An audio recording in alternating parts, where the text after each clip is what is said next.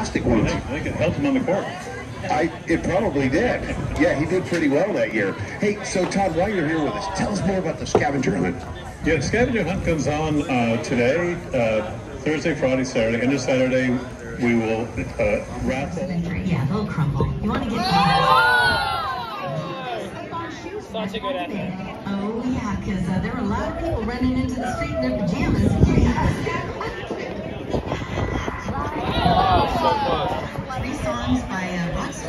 Solid and within that three-song block, there was an earthquake and smoke plumes. But okay, so you got the alert. Did you actually feel it though? I did not. No. No. Most people in Napa didn't feel it, but they got the alert. Uh, This is- this is I brutal. guess, Misty, I'm still shaking about that.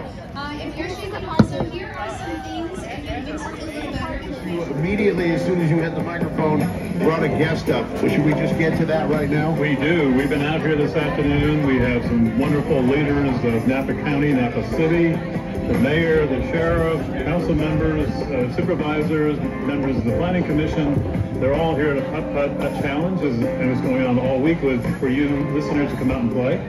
But and so far, uh, in with two pros playing, the only one to get a hole in one is council member Liz Alessio. You know what? This is where I think ignorance is bliss and beginner's luck collide. Oh, just stop it. I do. And of course, there's that lucky putter that I borrowed from Saint Laurent. that definitely helped. So all those things.